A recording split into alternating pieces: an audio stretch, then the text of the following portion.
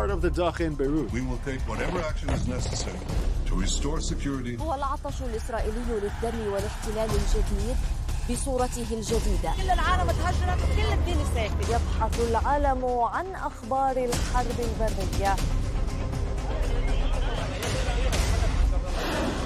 حزب الله يعلن سنواجه أي احتمال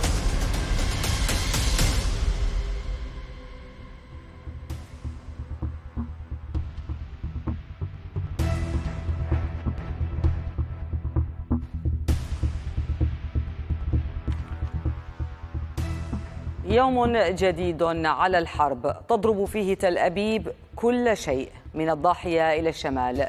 يخرج رئيس أركانها ويقول لدينا مفاجآت في هذه الحرب.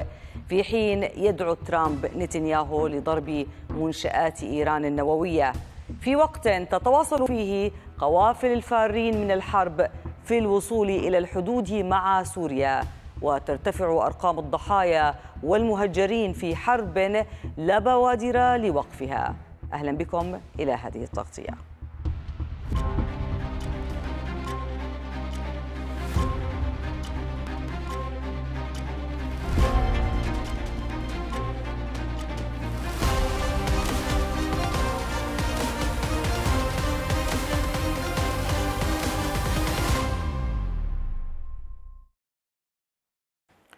شنت الطائرات الحربية والمسيرات الإسرائيلية عدة غارات على مناطق متفرقة من جنوب وشرق لبنان وضاحية بيروت الجنوبية. واستهدف القصف وفق وسائل إعلام لبنانية محيط مجمع سيد الشهداء بالضاحية الجنوبية ومنزلا في سهل بلدة سعد نايل في البقاع شرق البلاد ما أدى إلى مقتل شخص كما استهدف القصف بلدة أرفيد بذات المنطقة وبلدتي قانا وطيردبة في منطقة صور في الجنوب.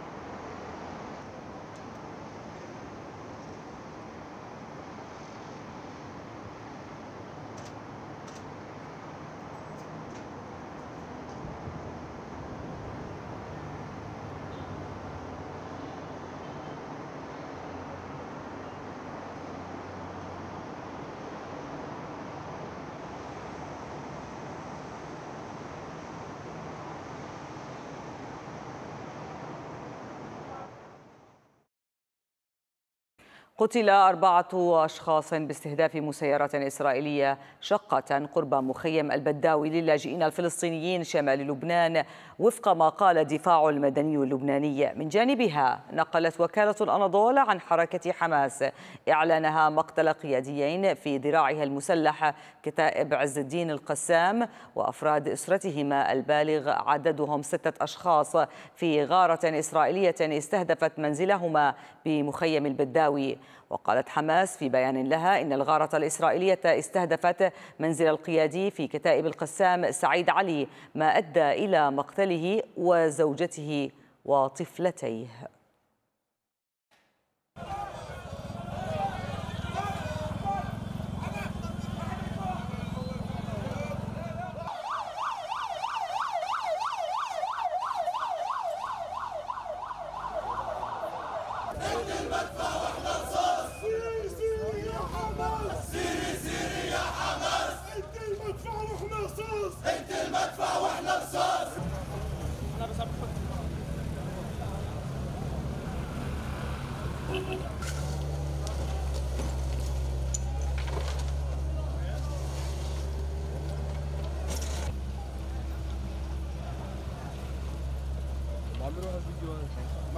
ما في ما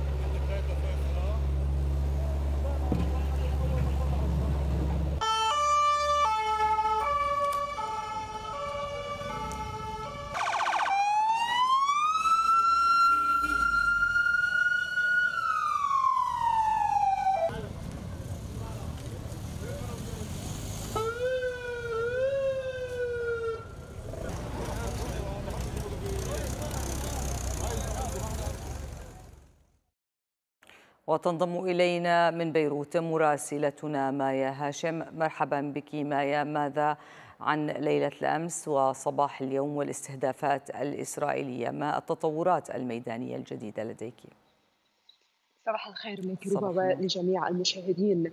منذ ساعات الصباح الأولى بدأت اليوم باكرا الغارات الإسرائيلية التي شنها الطيران الحربي الإسرائيلي على الضاحية الجنوبية لبيروت حيث كانت في ساعات الظهر وفي ساعات العصر وفي ساعات الليل يشنها بكثافة جيش الاحتلال إلا أن اليوم كان اللافت أن منذ ساعات الصباح بدأت هذه الغارات.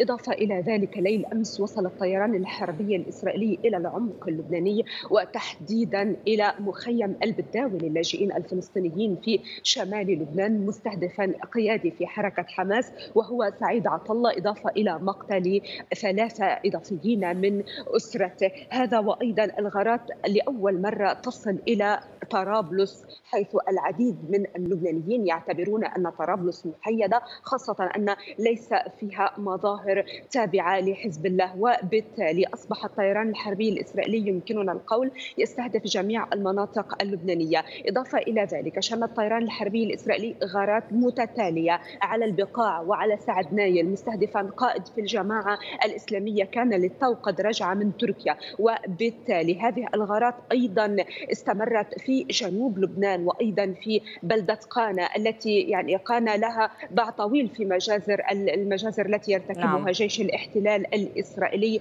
في جنوب لبنان. وأيضا كان هناك غارات على البزورية وعلى برج شمالي وعلى الناقورة إضافة إلى قصف مدفعي صباحي على قرى وبلدات في الجنوب اللبناني.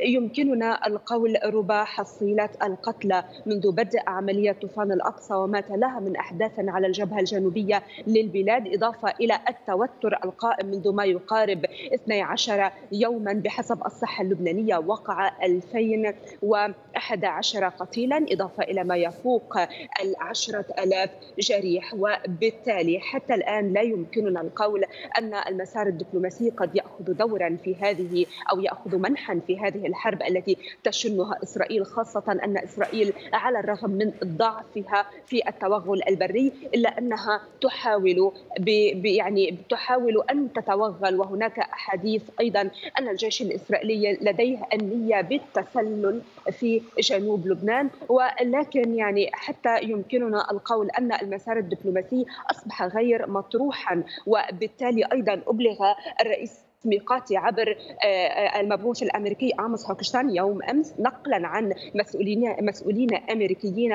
وموقع اكسيوس الأمريكي أن الطرح الدبلوماسي بات غير مطروحا حاليا من قبل الإدارة الأمريكية. وهذا يؤكد أن أمد الحرب قد تطول خاصة أن الجانب الإسرائيلي يتحدث عن أهداف يعني ينوي القيام بها في لبنان من استهداف أكثر للضاحية الجنوبية لبيروت وللبقاع وللجنوب إضافة إضافة إلى نيته بالتوغل مجددا حيث أنه يحاول ولكن ينصب آه، آه، عناصر ومقاتلي حزب الله كمينا لقوات طيب. الاحتلال في الجنوب اللبناني ما يؤثر على هذه النظرية وهذه العملية نعم. أيضا إذا ما أردنا ربا الحديث عن آه، النزوح الذي أصبح قبل حالة النزوح أريد أن أسأل يعني باعتبارك إجيتي على حصيلة الجرحى والقتلى القطاع الصحي كيف يتعامل آه، مع هذه الأعداد الكبيرة من المصابين آه، سواء القطاع العام والقطاع الخاص؟ كيف تعاملت وزارة الصحة بخطة خطة طوارئ للإسعاف والتعامل مع المصابين والجرحى؟ نعم ربا دعيني أيضا آه، أقول شيئا قبل آه، الإجابة عن سؤالك أن أيضا الطيران الحربي الإسرائيلي يوم أمس استهدف فرقا تابعة لجمعيات تسعف الناس ولايضا يعني العديد من المستشفيات في الجنوب اللبناني. في الجنوب. استهدف آه، نعم. القطاع الصحي سواء بالمسعفين أو بالنقط الطبية. نعم وأيضا ربما إذا ما أردنا الحديث عن واقع المستشفيات في لبنان في هذه الأثناء المستشفيات لا تستقبل الحالات الطفيفة أو الحالات غير الضرورية في هذه الأثناء لأن هناك عدد كبير من الجرحى نتحدث بحسب الصحة اللبنانية على ما يفوق عشرة ألاف جريح البعض منهم بوضع حرج جدا. وأيضا يعني سيارات الإسعاف والصوت آه، آه، يعني يظهر والصوت مسموع أيضا في المداخلة. سيارات الإسعاف تعمل بشكل دائم وبشكل يعني متواصل جدا لإسعاف ما استطاعت من الجرحى وبالتالي هذا القطاع بحسب وزير الصحة يعني قطاع الصحة أيضا وبحسب فراس أبيض إذا استمرت هذه الحرب لوقت طويل ممكن أن يواجه أزمات كثيرة. وبالتالي تصبح العديد من المستشفيات عاجز عاجزة عن استقبال الجرحى نعم. وأيضا عاجزة عن القيام بدورها. وخاصة أن البعض بدأ يتحدث عن نقص في المواد الطبية والمواد الاستشفائية في العديد من المستشفيات إضافة إلى القصف الإسرائيلي والاستهدافات الإسرائيلية لبعض المستشفيات في الجنوب إضافة إلى الاطقم نعم. يعني طاقم الإسعاف داخل سيارات الإسعاف الذين ينقلون الجرحى من مكان إلى آخر. ابقي معنا مايا لو سمحتي وأنتقل إلى أحمد القصير مراسلنا آه، من البقاع مرحبا بك آه، أحمد آه، ماذا عن التطورات الميدانية وتوسع رقعة القصف داخل لبنان؟ هناك قصف كما ذكرت لنا مايا على طرابلس. ماذا يجري من يعني الاستهدافات الإسرائيلية لمناطق مختلفة في لبنان؟ صباح الخير هو طبعا نحن الآن هنا في منطقة البقاع وتحديدا في منطقة الغماريه في سعد نايل.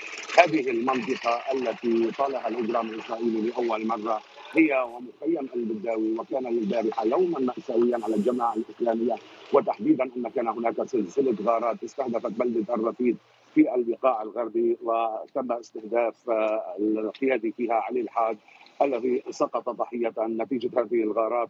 إضافة إلى أن شابا في مخيم البداوي هو وعائلته وكان هذا الاستهداف الأول لشمال لبنان البارحة وتحديدا مخيم البداوي كان سقط هو وعائلته آه، نتيجة هذه الغارات التي استهدفتها. أما هنا نحن في هذا المكان تحديدا كان هناك غارة على بلدة سعد نايل في منطقة العمرية تحديدا وهي الغارة الأولى وكانت استهدفت القيادي في الجماعة الإسلامية الويس محمد حسن الويس. طبعا آه، هذا القيادي يبلغ من العمر 33 عاما. طبعا الغارات التي استهدفت البارحه استهدفت ثلاث أشخاص اثنين من قياده الجماعة الإسلامية وشخص من قيادة حركة حماس الذي حصل في مخيم البداوي نعم. هنا تم دفن الحاج محمد الويس عند الساعة التاسعة صباحا إضافة إلى أنه يظهر حجم الضرر هنا.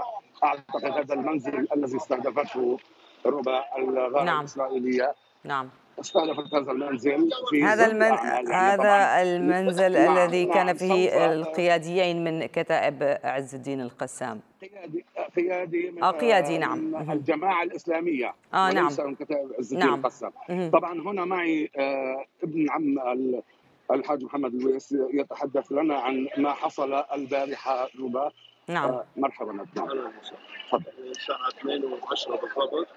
استهدفوا ابن عمنا محمد السيد المحمود عم شيخ الويس.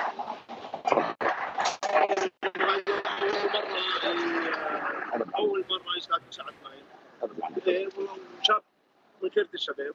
مستشهد. هو قيادي بالجماعه الإسلامية. هو غامض نحن ما بنعرف عنه شيء. هو غامض. كان حدا موجود معه بال أخته بالمستشفى بالعناية هلا. الحمد لله. حالتها مش مستقرة بالعناية. حجم الضرر اللي صار هون البناية كلها تقريبا البناية كلها تقريبا تضررت الحمد لله اللي قضت على بس أو اثنين. الحمد لله. كان هو لحاله بال لا كانت أمه كانت أخواته متجوزين بنية فيها شيء 40 شهر الحمد لله الله سلم الضرر كان خفيف لا الحمد والشكر. الله يرحمه. مستشهد عيش الله يرحمه. يعطيك العافيه يعطيك الف عافية. الله يرحمه. طبعا ربا هذا نعم. ما تحدث لنا أهالي الحاج محمد لويس القيادي في الجماعة الإسلامية التي استهدفتها الغارات الإجرامية الإسرائيلية البارحة هنا في هذه البلدة في بلدة العمرية. آه، لا أدري إن كان سيساعدنا الإنترنت لنريكم حجم الدمار في هذه النقطة سوف أتحرك بالكاميرا. يعني ربما تحاول قدر الإمكان. نحن نعلم أن الشبكة ضعيفة وهناك مشكلة في التواصل. نعم. آه، ربما سوف أتحرك بالكاميرا ابتداء نعم من المحال التجارية الموجودة هنا التي استهدفت التي تضررت نتيجة هذا الاستهداف. طبعا هنا بلدية سعد نايل أيضا من البلديات التي تقوم بعملها كانت تصل التيار الكهربائي الذي آه، انقطع جراء هذا الاستهداف؟ طبعا هنا شركة الكهرباء أيضا متواجدة. لا أدري إن كان الإنترنت يساعدني في إظهار حجم هذا الدمار. ما, ما زلنا نستطيع أن يعني أن نتابعك نعم. إلى الآن نعم. بصورة معقولة آه، آه، انظري آه، ربا هنا حجم الدمار الذي استهدف هذا المنزل نعم. الذي سقط على الأرض. طبعا هذا هو هذه هي الغرفة المستهدفة. اذا اذا أحمد كان الصاروخ دقيق جدا. أصاب نعم. المستهدف بمكان محدد. إلى المنزل لنعين مكان الاستهداف يعني رغم أن هناك مأساة لأهالي الحال لكن سوف نذهب إلى إلى المنزل. نعم. بدأنا أن نفقد الاتصال بك أحمد على ما يبدو أن الشبكة لم تساعدك كي آه، تصل إلى الشقة آه، ونستطيع أن آه، يعني نتحدث معك ونتابع مشاهدينا معكم حيث أعلن حزب الله أنه أوقع 20 قتيلا وجريحا في صفوف الجيش الإسرائيلي خلال محاولتهم التقدم إلى العديسة جنوب لبنان. كما قصف تجمعات عدة لجنود آخرين. وقال الحزب إن مقاتليه أوقعوا قتلى وجرحى في قوة مشاة إسرائيلية لدى محاولتها التقدم باتجاه محيط بلدة العديسة وأضاف أنه قصف تجمعات لجنود إسرائيليين في كفر جلعادي وكفر يوفال جنوب لبنان وفي خلة عبير في يارون.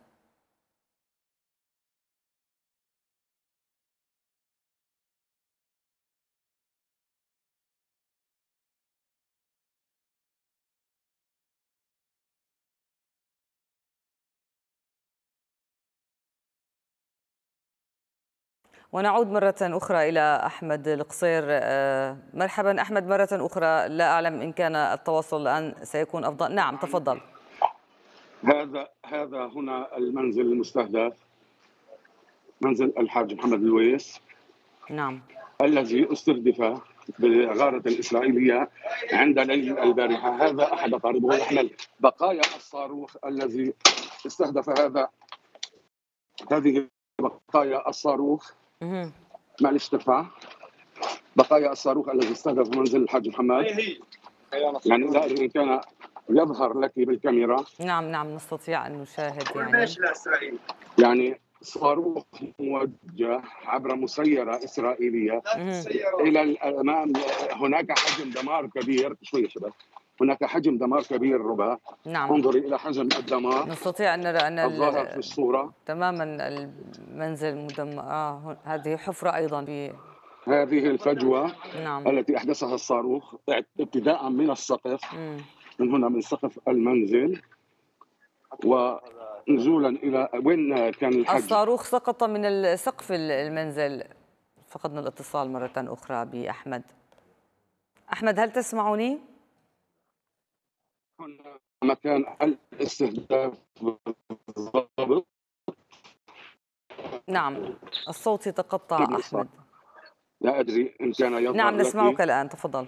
طبعا هنا من هذه النقطة من هذه النقطة كان صاروخ اخترق هناك مشكلة في التواصل. بكل الأحوال شكرا لك أحمد ونتابع أيضا مع مراسلتنا من آه، آه، القدس المحتلة ريم العمري. مرحبا بك ريم. آه، إسرائيل توسع ضرباتها ويوم أمس قامت باستهداف أكثر من شخصية. ماذا يجول في أروقة السياسة في تل أبيب؟ عن ماذا يتحدثون وإلى متى سيستمرون بتوسيع هذه الضربات خاصة أنها امتدت حتى خارج الحدود اللبنانية؟ نعم ربا هذا صحيح. والجيش الإسرائيلي أيضا أعلن أنه يعتزم توسيع عملياته البرية في لبنان. هذا ما أوردته هيئة البث الإسرائيلية أن الجيش يعتزم توسيع الجيش الإسرائيلي يعتزم توسيع عملياته البرية في لبنان. والانتقال إلى ما أسماه المرحلة التالية من القتال بعدما بدأ في السيطرة العملياتية على قرى الجنوب كما يقول. وأيضا يستعد الجيش لدخول كل بلدة كما قال للتأكد من عدم وجود بنى تحتية لحزب الله من الممكن كما قال الجيش الإسرائيلي أن تهدد سكان الشمال. آه، أيضا الجيش الإسرائيلي وفقا ما نقلته المواقع العبرية قال إن قدرات القيادة والسيطرة لحزب الله قرب الحدود تضررت وعناصر حزب الله يعملون الآن على شكل فرق فردية وذلك لأنه قبل الدخول البري تم إجلاء سكان القرى وجرى تنفيذ هجمات واسعة على البنى التحتية لحزب الله وتحديد مواقع آه، آه، المقاتلين من حزب الله. نعم. وأيضا اعتبر الجيش الإسرائيلي آه، كما تضررت قدرات قال المقاتلين على تغطية بعضهم البعض بين القرى المجاورة. آه، وفي الوقت نفسه لا تزال أيضا عناصر قوة آه، الرضوان وحزب الله تستعد آه، كما قال داخل القرى وبالقرب منها في محاولة للقتال كوحدة نعم. واحدة مسؤول أيضا رفيع في الجيش الإسرائيلي ربا كما نقلت عنه وسائل الإعلام بعد مرافقته للجنود في جنوب لبنان قال عندما تمشي في لبنان وترى منصة إطلاق قذائف مضادة للدروع أو حتى نفق تقوم بإدارة رأسك وتشاهد بلدة إسرائيلية وعندها ستفهم على الفور ما تقاتل من أجله هذه التصريحات اقتبست عنه وأفادت القرى أيضا الثانية عشر العبرية بأن الجيش واصل توسيع عملياته البرية في الجنوب وعمل نعم. في عدة قرى هذه للحدود أيضا آه، ربع وذلك ما أدى إلى مواجهات مباشرة مع عناصر آه، آه، حزب الله بالمنطقة. الجيش يزعم أنه قتل نحو 250 مقاتل من حزب الله وفي المقابل تلقى هو بنفسه أيضا خسائر فادحة. يعني الجيش الإسرائيلي طيب. يقر بأنه يقر ب... يقر بال... نعم بأنه يتلقى ضربات ويعترف بأن هناك قتلى وربما لا يعلن عن الرقم الحقيقي من القتلى والمصابين لكن ريم كان هناك تصريح لترامب الرئيس السابق للولايات المتحدة والمرشح الحالي للرئاسه آه، ويدعو فيه نتنياهو لضرب المفاعلات النووية في إيران. كيف أيضا آه، يتم التعامل مع هذه التصريحات التي هي في إطار الحملة الانتخابية في أمريكا بالتأكيد لكن كيف يتلقفها آه، الإسرائيليون وتحديدا حكومة نتنياهو؟ نعم ربما الآن تجري محاورات ومحادثات آه، بين بايدن ونتنياهو حول تنسيق الهجوم في آه، إيران هذا التصريح من آه، ترامب كان لافتا لكنه أيضا يمكن أن يكون في إطار وفي سياق الحملة الانتخابية له نعم. والولايات المتحدة الآن هي مقبلة أصلا على انتخابات لذلك يحاول من خلال وبالتالي في, في إسرائيل ربما يرغبون جدا بوصول ترامب إلى الرئاسة آه، كي ينفذوا آه، يعني آه، هذه الحرب الكبيرة الإقليمية. نعم بالطبع هو بالنسبة للإسرائيليين المفضل آه، ترامب لأنه هو آه، في زمنه وفي الفترة التي استلم فيها رئاسة الولايات المتحدة استطاع أن ينقل آه، العاصمة ومقر نعم. عاصمة إسرائيل ومقراتها إلى القدس وبالتالي هم يعتبرون أنهم حققوا إنجازاً آه، في زمن ترامب وأنه دائما يدعم الصهيونية ويدعم آه، إسرائيل في كل آه، قراراته، لذلك في ممكن يعني هذا التصريح وضعه في إطار إطار الدعاية الانتخابية لجذب الأصوات في الولايات المتحدة. لكن على مستوى الرد ما زالت المشاورات قائمة في هذا الأمر. تصعيد من ناحية إسرائيل بأنها ستقدم على رد ناري وعلى رد قاسي نعم. وكان الحديث سيتم طيب في غضون يومين ثلاث. تفضلي تفضلي ريم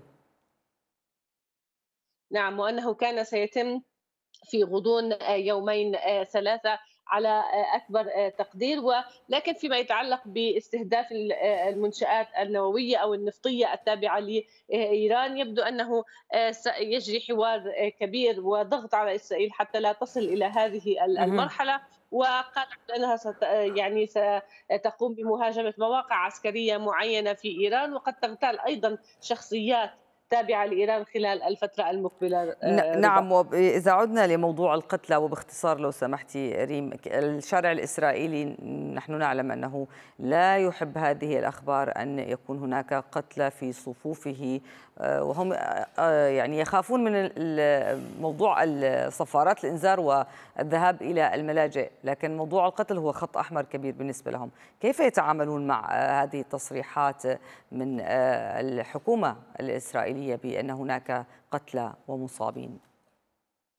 نعم ومن أجل ذلك إسرائيل تفرض رقابة عسكرية كبيرة وتفرض أيضا حظر نشر وتعتيم إعلامي حتى لا تظهر الخسائر سواء المادية أو سواء البشرية التي تحدث نتيجة الهجوم آه، الصاروخي. ذكرت بالأمس أن آه، حزب الله قصف بأكثر من 120 آه، صاروخ بيوم أمس فقط. أيضا هناك اليوم أعلن حزب الله أنه أيضا قتل خلال المناورة التي قام بها في الجنوب. قال أوقعنا قتلى وجرحى من خلال بقوة إسرائيلية حاولت التقدم باتجاه بلدية العديسة دائما الاعترافات أو التصريحات تأتي من من قبيل نعم. حزب الله اليوم مهما حاولت إسرائيل أن تفرض حظر نشر ربما إلا أن هناك كثير من وهل ربما هذا يؤجج الشارع الإسرائيلي ضدهم وضد هذه الحرب؟ نعم سأكمل لك هذه النقطة. أنه هناك أيضا على مواقع التواصل الاجتماعي ينشرون الإسرائيليون الكثير أحيانا من الفيديوهات المسربة. بالتالي آه، لا يمكن آه، أن آه، أن يخفى أو هذه المعلومات أن تخفى عليهم. هناك طبعا ترقب هناك تخوف من الشارع الإسرائيلي وخاصة في حال ردت إيران على نعم. الضربة الإسرائيلية القادمة لها. آخر التعليمات قبل قليل كانت للسكان بأن يبقوا في منطقة كريات شمونة أو مستوطنة كريات شمونة التي قريبة من الحدود مع لبنان أن يبقوا إلى في الملاجئ وقرب الملاجئ. حالة توتر يعيشها الشارع الإسرائيلي كبيرة نعم. جدا حالة خوف أيضا وخاصة في المناطق الشمالية. والآن انتقلت أيضا إلى مناطق الوسط بعد أن وصلت الصواريخ البالستية إلى منطقة الوسط. تستطيعين شعور ذلك من خلال الشوارع التي تكون تقريبا شبه خالية ما بعد الساعة السابعة مساء في وسط البلاد. يعني الحركة غير طبيعية كالمعتاد وكثير من الأمور تغيرت أيضا. هم دائما يعني مطلوب منهم أن يبقوا على يقظة لأي تعليمات جديدة في الجبهة الداخلية متعلقة بالوضع التعليمي والعمل وأيضا متوقع في الوضع الأمني. بالتالي نعم هناك حالة ترقب وهناك حالة خوف من شكراً. الشارع الإسرائيلي. وحذر أيضا. شكرا جزيلا لك ريم العمري مراسلتنا من القدس المحتلة على هذه المعلومات.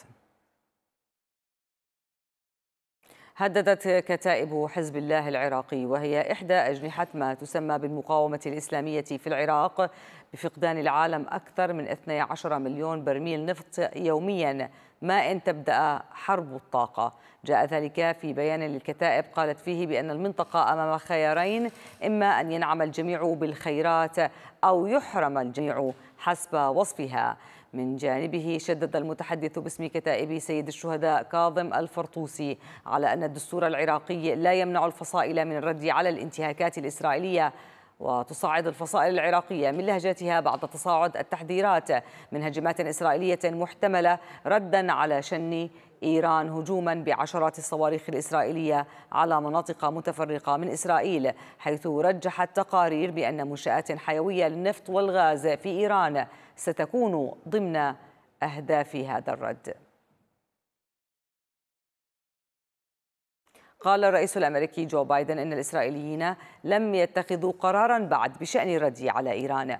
وأضاف بايدن أنه لو كان مكان الإسرائيليين لفكر في بديل آخر غير ضرب المنشآت النفطية الإيرانية موضحا أن إدارته ساعدت إسرائيل أكثر من أي إدارة أمريكية أخرى.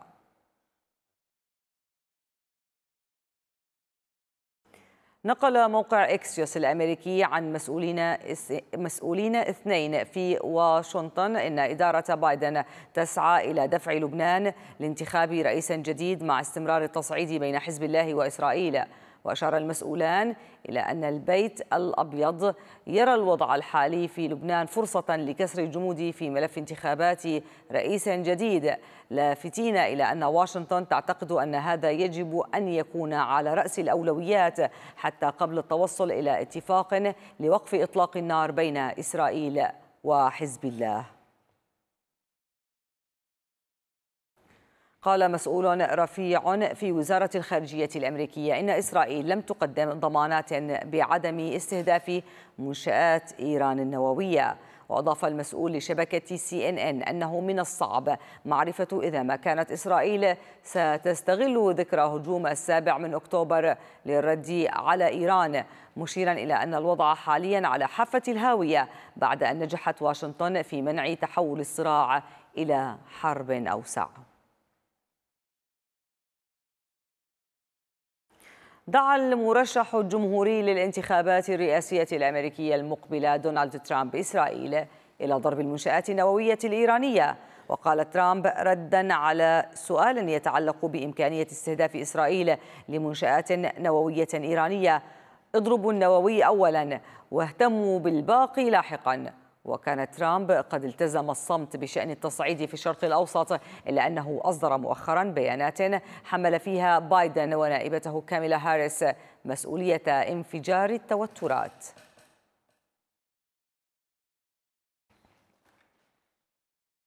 ومعنا في الاستوديو الآن المحلل العسكري صبحي ناظم. توفيق مرحبا بك سيد صبحي. سأبدأ من موضوع الميليشيات العراقية وهذه التهديدات بموضوع النفط. ونحن نعلم هذا خط أحمر بالنسبة للولايات المتحدة وعالميا أن تقترب من مصادر الطاقة وتهدد بمصادر الطاقة.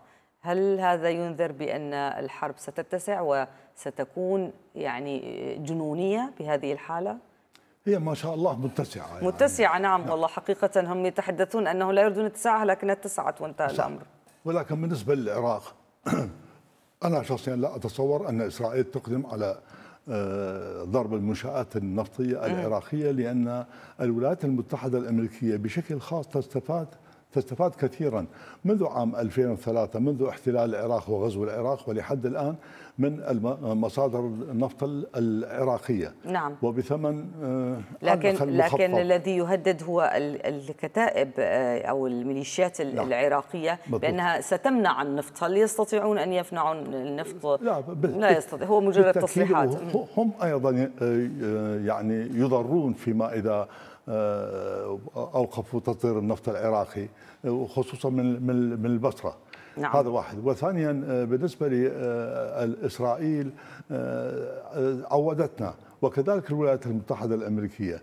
انها عندما تستهدف الميليشيات العراقية فإنها تستهدف ليس المنشآت النفطية وإنما المواقع أو المعسكرات أو مراكز التدريب التابعة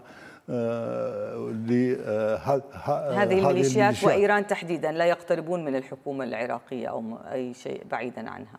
عفوا حصريا للميليشيات والمواقع نعم الإيرانية. نعم. هم لا يقتربون من ولا الجيش الشرطة العراقية بالضبط يعني. آه، ولكن أيضا هناك مشكلة في هذه الحالة.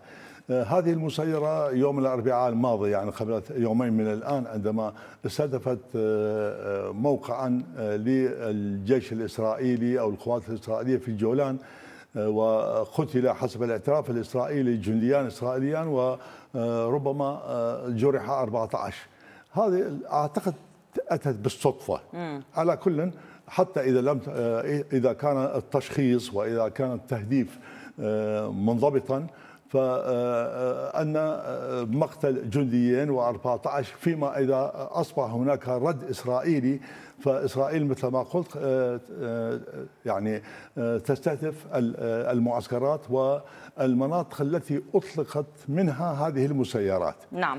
سيدتي العزيزة بالنسبة لإطلاق يعني المنصات لا تستقر في معسكرات وفي داخل المدن في حارة العراق وإنما تخرج منصة واحدة إلى البراري وخلال دقائق تطلق بالضبط نعم. تطلق المسيرات وتترك المكان فأين يعني أين تهدف أين تستهدف إسرائيل؟ ما هي المواقع التي يمكن أن تستهدف تستهدفها إسرائيل؟ هل هي مواقع المنصات مواقع المنصات مجهولة أو أصبحت مجهولة لأنها منصات متحركة نعم فإذا هناك مش يعني المعسكرات المستقرة نسبيا وهي فرغت بالمناسبه الآن. يعني لأغراض طبعا نعم لأنهم يعرفون سيتم استهدافها. بالضبط. فرغ أم فرغت أرسلت إلى لبنان أيضا للم... نعم ربما. ولو هي الحقيقة مح... لبنان ليست محتاجة إلى مقاتلين. يعني الجنوب اللبناني ليست محتاجة إلى مقابلين مقاتلين. المقاتلون الذين يذهبون سواء من إيران أو من العراق أو من أفغانستان أو باكستان أو من سوريا عندما يسحب حزب الله سيتحولون إلى أفواه اكله ومشاكل استحمام وصحة وأكل ويعني أنواع وأشكال. كمقاتلين تقصد هنا كمقاتلين طب طبعا. ماذا تحتاج اذا جنوب لبنان؟ ماذا يحتاج حزب الله في لبنان؟ أسلحة. نعم أسلحة. أسلحة. أسلحة. ونحن نرى دفاع يعني الحزب اللهي وكذلك بالنسبة للمقاتلين المقاتلون الباقون لم يسمحوا للقوات الإسرائيلية أن تتوغل في الجنوب اللبناني ولو مترا واحدا لحد لحد أخبار اليوم صباحا.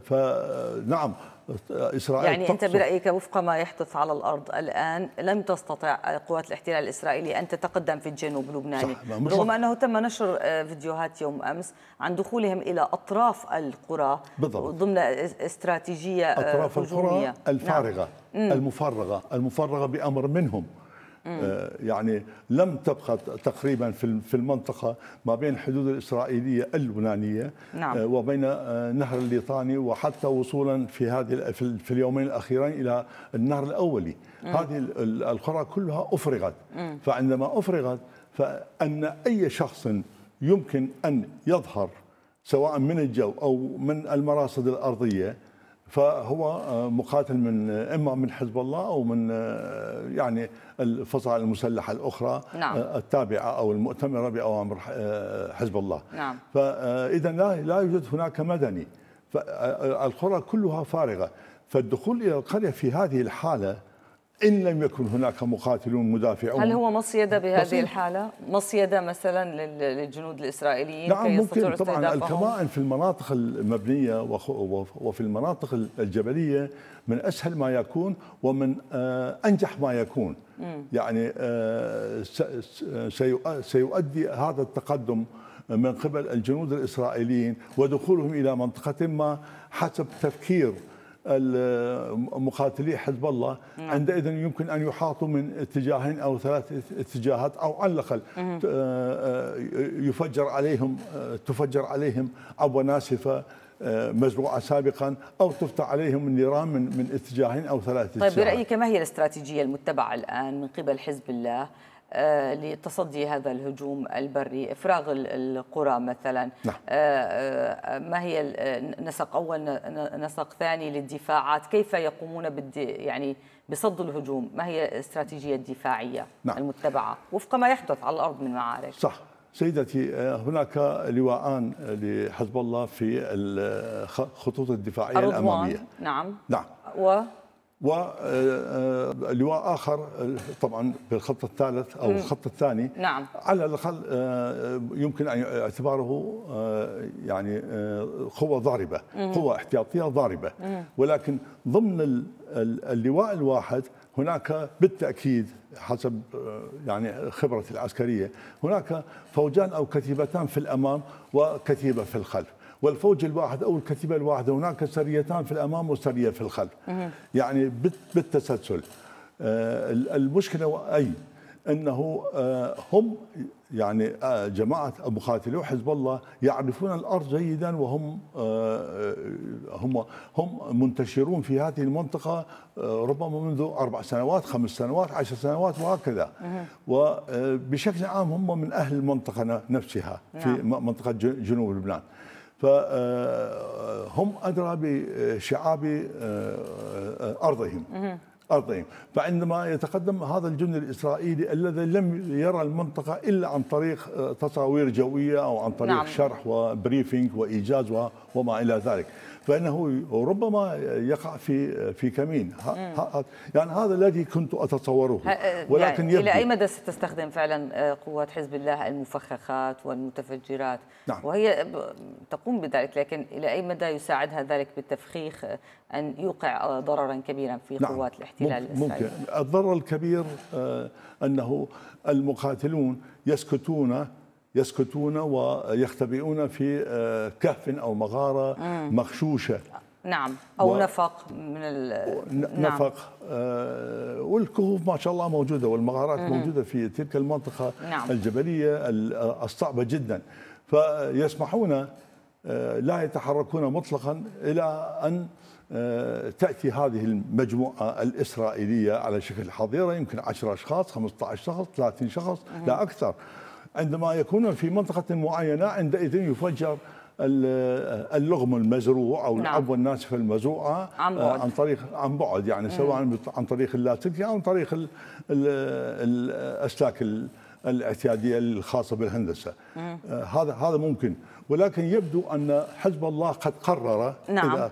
قد قرر أن لا يسمح لأي قطعة إسرائيلية عسكرية مم. أن تجتاز آه، حتى خط آه، آه، الحدود اللبنانية الإسرائيلية.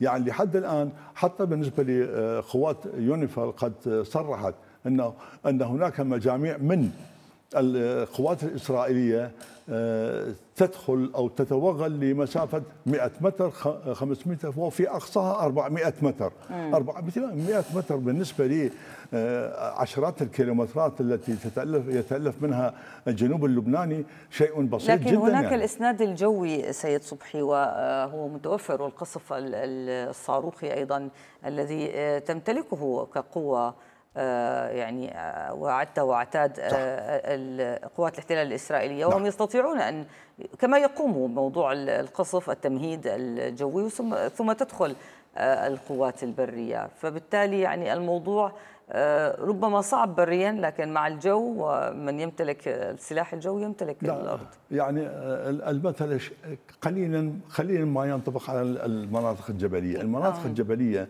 عندما يكون المدافع في الكهوف والمغارات وما أكثرها نعم. اقولها مرة أخرى. فإن القصف الجوي حقيقة لا يؤثر إلا إذا كان إذا كانت آه طبيعة المنطقة الجبلية لا تفيد كثيرا بالقصف الجوي تقصد. صح مضبوط. يعني إلا إذا كان كل هدف مثلا كل آه، مغارة وكل كهف وكل نفق آه، بعد اكتشاف بعد اكتشاف الموقع طبعا أن آه، يستهدف بقنبله خارقة الأعماق يعني بنكر بوستر.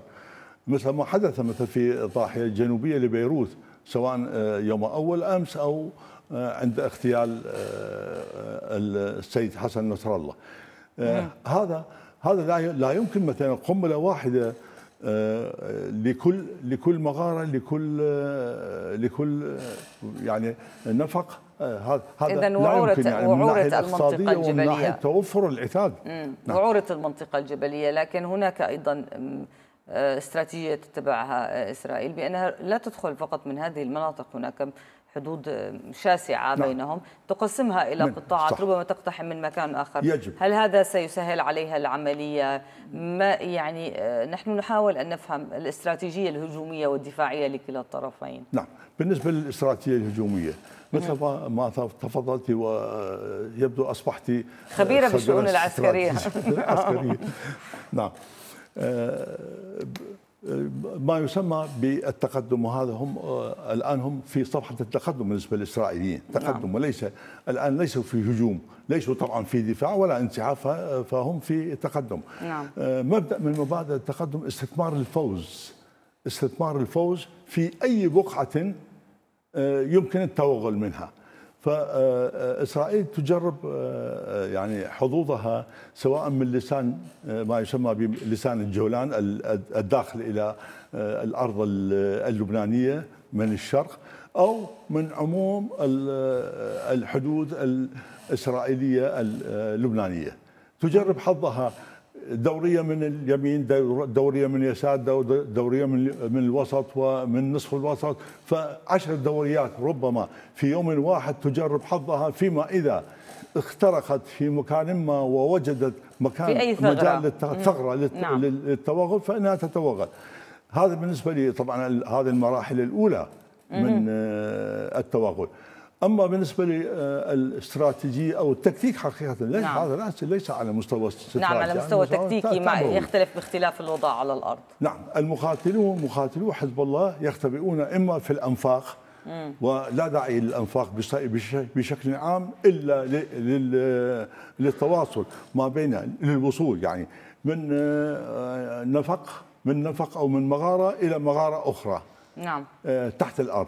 حتى لا يظهر المقاتل على على على سطح الأرض.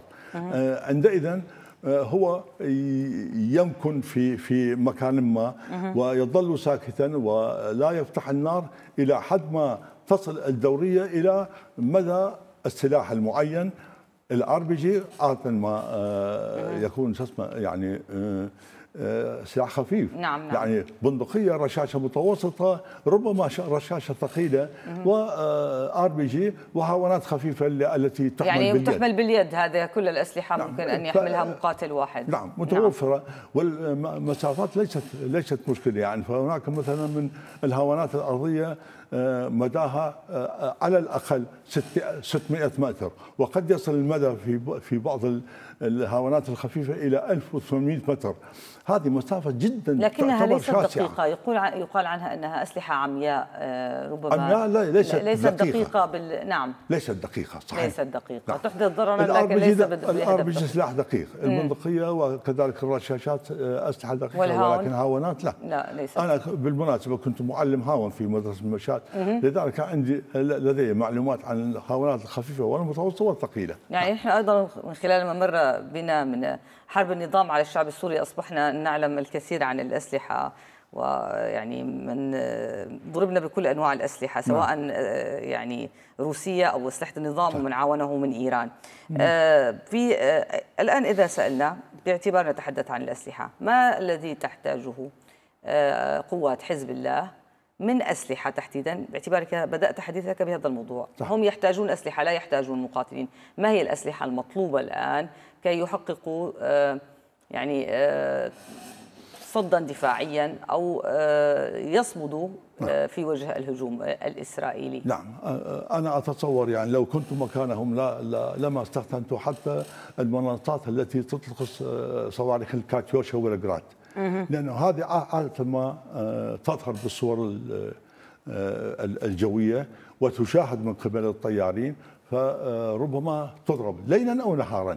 نعم. فهم يحتاجون اعتبارا من الهاونات المتوسطة متوسطة لا أكثر إلى الهاونات الخفيفة إلى المدفعية ال- ال- المتربصة من بعد مثلا 10 15 20 كيلومتر آه، وكذلك بالنسبة للرشاشات الثقيلة والمتوسطة آه، والخفيفة والبندقية التي في اليد وألغام تزرع في على كل الطرق آه، لكي آه، يعني تحول دون تقدم لكن استخدام هذا التكتيك في. القتال يحتاج إلى روح معنوية عالية. هل تعتقد أيضا وفق ما نشاهده أن حزب الله ما زال ما زال يملك هذه الروح المعنوية العالية؟ لأن المقاتل يحتاج آه، لها خاصة بعد سلسلة الاغتيالات للصف الأول والقياديين والاغتيال حسن نصر الله مؤخرا. الاغتيالات بالتأكيد لا تخص المقاتل فهو في منع عن الاغتيالات. نعم. آه، ولكن هو معنوياً. ليس آه، بمنع عن الضربات الجوية مثلا أو الضربات المدفعية. فهو إذا سكن في آه، مغارة آه، أقولها مرة أخرى في مغارة أو في كهف أو في نفق فإنه في آه، آه، يعني سو- سوف سوف لا يصاب اعتياديا يعني. إلا إذا استخدم العدو استخدم العدو آه، القنابل آه، الخارقة نعم. آه، للأعماق. وهذا يعني من الاستحالة إنه إسرائيل تستخدم هكذا قنابل. لماذا؟ لماذا لا تستخدمها؟ آه، اولا لا داعي. وثانيا آه، غالية الثمن. وثالثا هم لا إسرائيل ليس لديهم مشكلة بالموضوع وإنما ال- تأتي من آه، الولايات المتحدة الأمريكية. والولايات المتحدة تمدهم أيضا بالسلاح تمدهم، فنحن ربما في الأيام. القادمة نشاهد آه، أسلحة مختلفة يعني يتم استخدامها. نعم. بكل الأحوال يعني ال ال كما يذكر تذكر حضرتك والمحللون العسكريون أن الحرب البرية ما زالت في بدايتها ومن الصعب أن يعني نحلل أو حتى نتنبأ يعني بأي تطورات إلا وفق ما يحدث على الأرض. شكرا جزيلا لك. المحلل العسكري السيد محمد عفوا صبحي ناظم توفيق على هذه المعلومات وهذه الإيضاحات العسكرية في موضوعنا لليوم وفي تغطيتنا. إذا مشاهدينا بعد تأكيد حزب الله مقتل زعيمه حسن نصر الله صعد اسم الرجل الثاني في التنظيم هاشم صفي الدين إلى الواجهة كالرجل الأوفر حظا لتولي الزعامة. نشأته وحياته والمزيد في سياق هذا التقرير. قريبه وشبيهه. زميله في الحوزات من النجف إلى قم وصاحب الحظوة الذي لا يغيب عن تفاصيل القرار. حاضرا في الظل كما في العلن مؤتمنا على سر حزب الله وأموره الداخلية عسكريا وسياسيا وعقائديا. ماذا نعرف عن هاشم صفي الدين المرشح الأوفر حظا لوراثة عباءة زعامة حزب الله خلفا لحسن نصر الله؟ ننطلق بإذن الله تعالى بعد قليل باتجاه اللاذقيه ولد عام 1964 في بلدة دير قانون النهر بجنوب لبنان لعائلة شيعية ذات باع طويل في السياسة والدين. منذ شبابه كان إلى جانب نصر الله على مقاعد الدراسة ومسارات الحياة. فامتلك شخصيات متقاربة كحال الشكل. برز كأحد الشخصيات الثلاث التي راعاها عماد مغنية القيادي السابق وأحد مؤسسي حزب الله ليتولوا مسؤوليات مفصلية. ومنذ عام 1994 بزغ نجمه فتولى رئاسة الحزب في بيروت وارتقى في المناصب إلى أن ترأس المجلس التنفيذي في عام 1998 حتى بات الرجل الثاني بعد نصر الله. وستشهدون أياما سوداء لم تروا لها مثيلا. تحت إشرافه بات صفي الدين المسؤول عن رسم السياسات الداخلية وإعادة هيكلة حزب الله والإشراف على مؤسساته المالية والاستثمارية التي تمتد داخل لبنان وخارجه لا سيما في العالم العربي وإفريقيا وأمريكا اللاتينية. وبينما يترقب الجميع مستقبل قيادة حزب الله يبرز صفي الدين كواحد من الشخصيات القليلة التي تجمع بين التأثير السياسي والنفوذ العسكري كلاعب أساسي خلف الكواليس وحجر زاوية في رسم سياسات الحزب وإعادة هيكلته. ومنذ طوفان الأقصى تلقى حزب الله خسائر كبيرة في صفوف قياداته. نتعرف إلى أبرزهم في هذه المادة.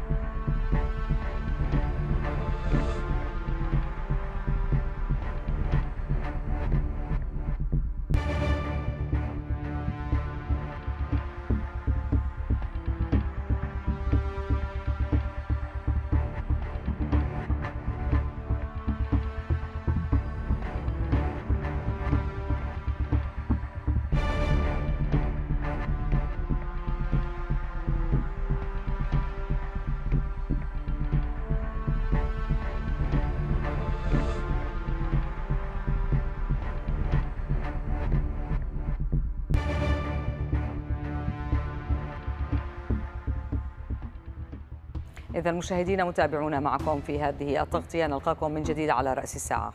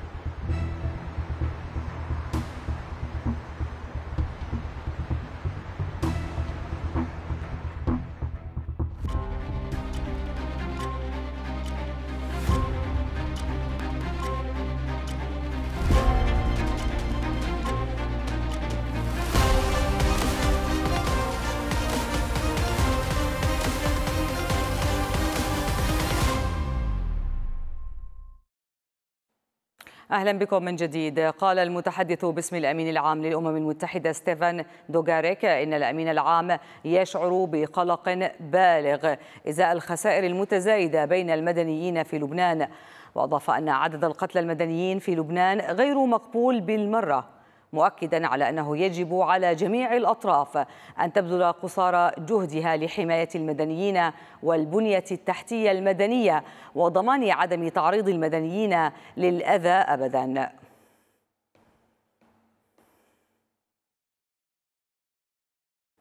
أكدت قوة الأمم المتحدة المؤقتة في جنوب لبنان اليونيفيل بأن قواتها لا تزال في مواقعها رغم تلقيها قبل نحو أسبوع طلبا من إسرائيل لإعادة نقل بعضها قبيل بدء عملياتها البرية. بدوره قال مساعد الأمين العام للأمم المتحدة لعمليات السلام بأن قائد اليونيفيل وضباط الارتباط على اتصال دائم بنظائرهم في الجيشين الإسرائيلي واللبناني ووصف ذلك بأنه مفتاح لحماية قوات اليونيفيل مشيرا إلى أن قوة الأمم المتحدة هي القناة الوحيدة للاتصالات بين الطرفين. وتعمل أيضا مع الشركاء للقيام بما في وسعهم لحماية السكان.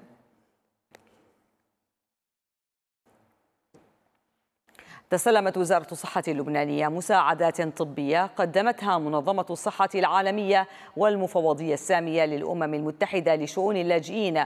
وحضر وزير الصحة فراس الأبيض وممثل منظمة الصحة العالمية في لبنان عبد الناصر أبو بكر وممثل المفوضية السامية لشؤون اللاجئين في لبنان إيفو فرايكسن عملية التسليم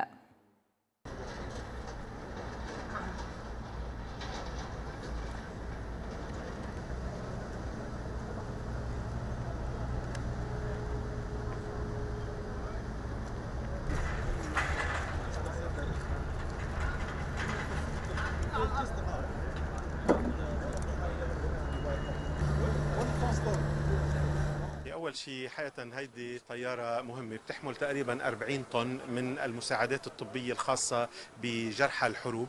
هي الطيارة نظموها آه، منظمه الصحة العالمية والمفوضية السامية للاجئين ولكن هي كانت بدعم من دولة الإمارات العربية المتحدة وهي بتشكل آه، أول آه، شو اسمه أول يعني شحنة بجسر جوي حيربط دولة الإمارات بلبنان. اليوم كذلك بعد الظهر عم نتوقع وصول طائرة أخرى فيها 55 طن كذلك من المساعدات وهنالك طائرات أخرى حتتواصل خلال الأيام القادمة.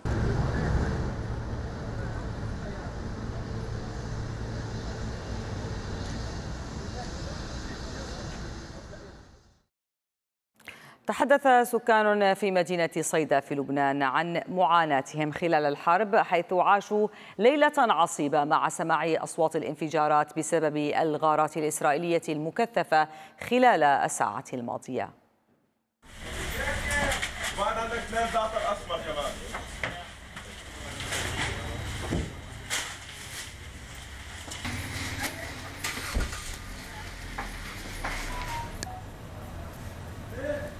القصف آه والله الليل القصف كثير كان قوي واصل لصيدا يعني كان ضرب بعيد بس واصل لمدينة صيدا وخوف ورعب. كل القاعدين والله عم نتابع الأخبار وبنقول الله يحمي لبنان ويحمي صيدا ويحمي الجنوب يا رب.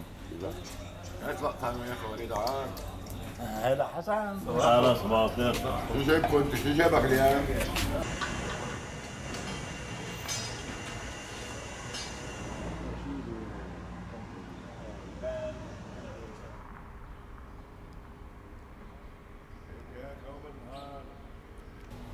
فالقصف كان تقريبا بالضاحي ويوصل لهون الصوت ما هو قوي. عرفت كيف؟ وصل لهون تقريبا. قاعدين سامعين يعني الضرب نحن. وما نمنا الليل ما نمنا ما نمنا والله.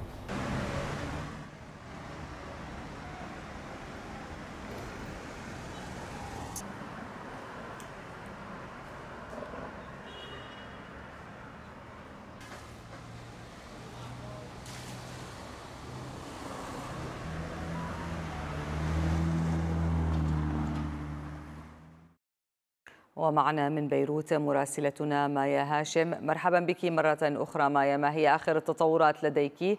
وأيضا لنتحدث عن موضوع النازحين وكيف يتم التعامل مع هذا الأمر. وأيضا ماذا عن اللاجئين السوريين في لبنان مع هذه الحرب؟ نعم ربا أزمة النزوح تتزايد وتزداد تفاقما.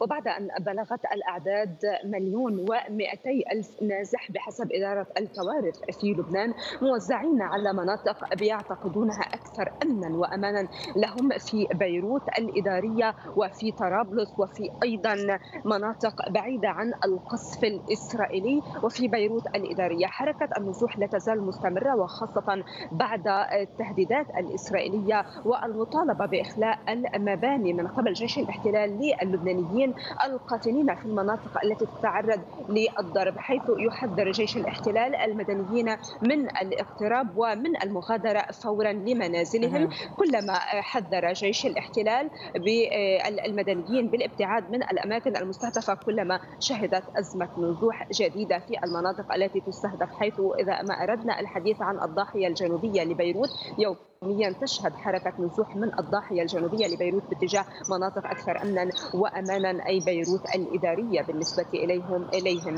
وأيضا كان يوم أمس وعقب الغارة التي استهدفت أمس الأول حارة تحريك في الضاحية الجنوبية لبيروت كان هناك حركة نزوح لسكان مخيم برج البراجني للاجئين الفلسطينيين باتجاه مناطق في مخيم شتيلة وباتجاه أيضا بيروت الإدارية، اذا حركة النزوح بالنسبة للقاتلين في المناطق التي تستهدف من السوريين واللبنانيين وأيضا الفلسطينيين مستمره، البعض.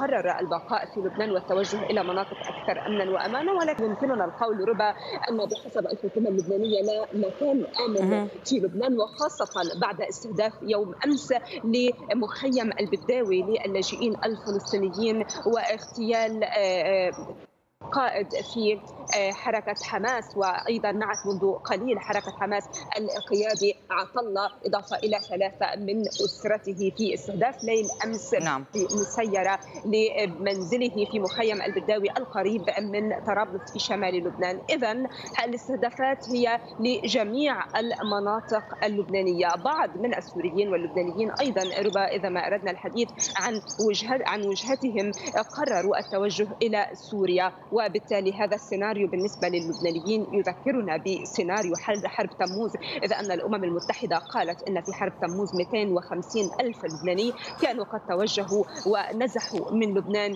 إلى سوريا بسبب القصف الإسرائيلي المتواصل. أيضا ربما إذا ما أردنا الحديث عن وضع بيروت والعاصمة اللبنانية بيروت حيث نعم وأيضا ماذا عن نتحدث عن وضع بيروت وماذا يحدث وخاصة يعني نبقى بالموضوع الإنساني.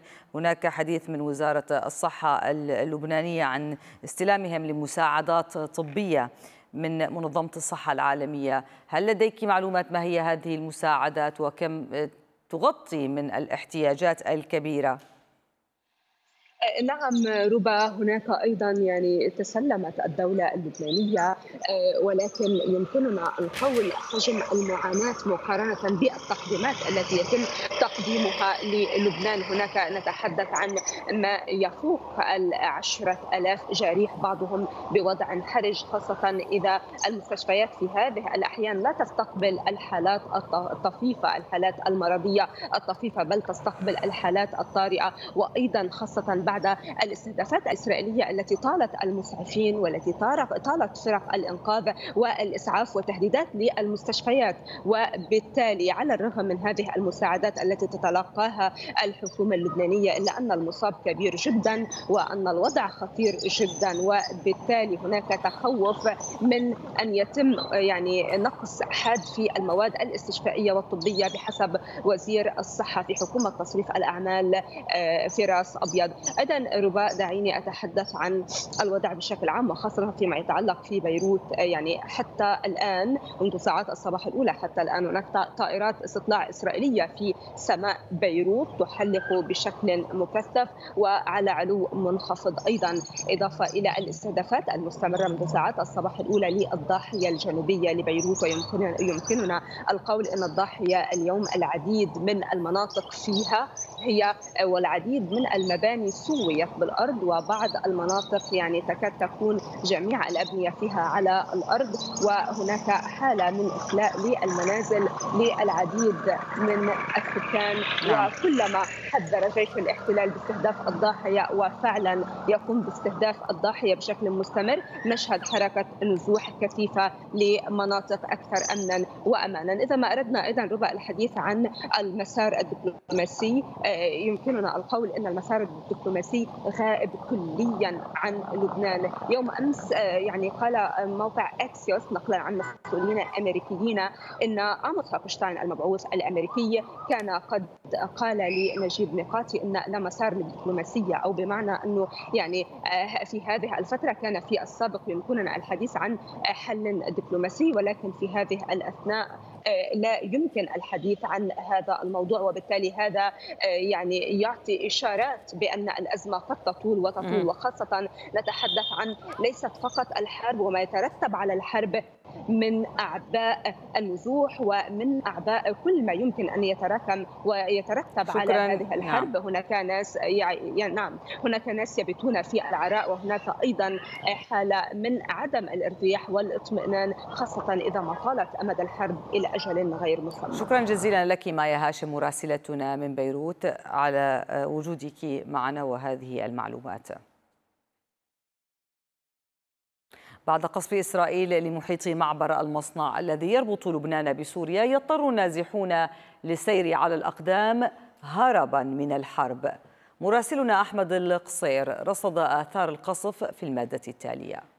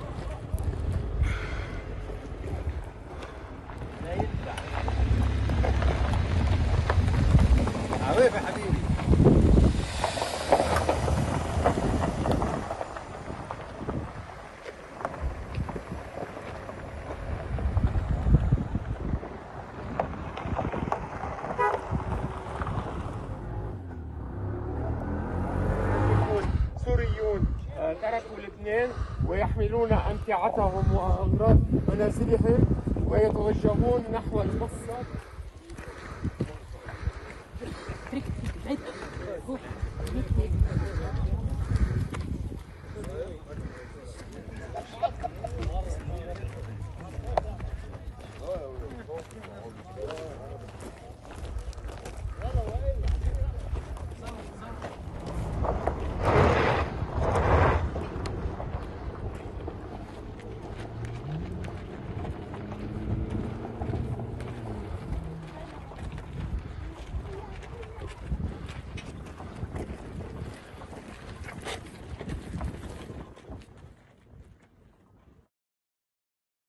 ومعنا عبر الهاتف مراسلنا أحمد القصير من البقاع. مرحبا بك أحمد. حدثنا أيضا الآن عن التطورات لديك وعن آخر مشاهداتك في البقاع وفي الجنوب اللبناني.